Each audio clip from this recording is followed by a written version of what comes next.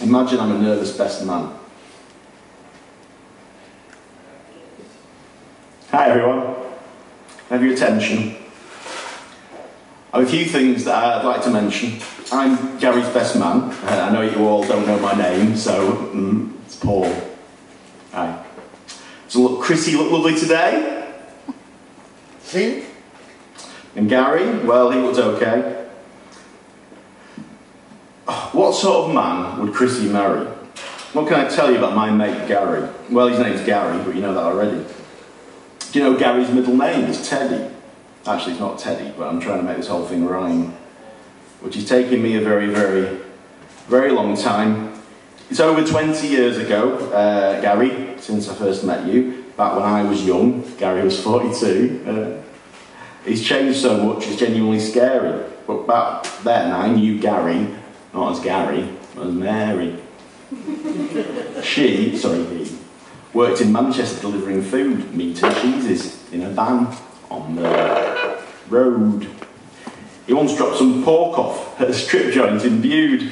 Sorry, Gary's mom told me to take that joke out, it's too rude.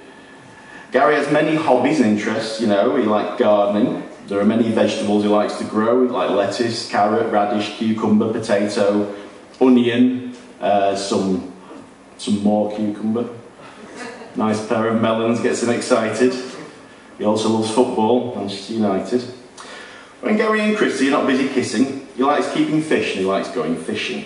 Gary's up for a laugh, he's a joker, a smiler, and a professional, qualified, self-employed tiler. Very reasonable too, he works very hard. See me after, I'll give his card.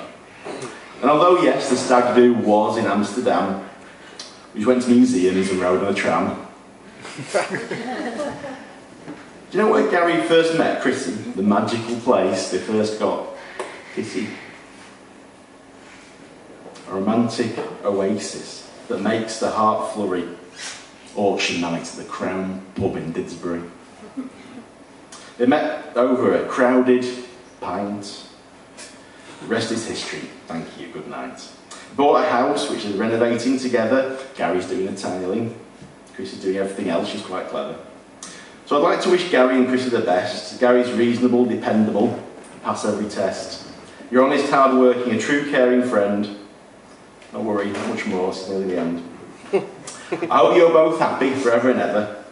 You start out on your life together, sharing the patterns of life's rich texture. Gary, Chris, Ian, the dog Dexter. Yeah.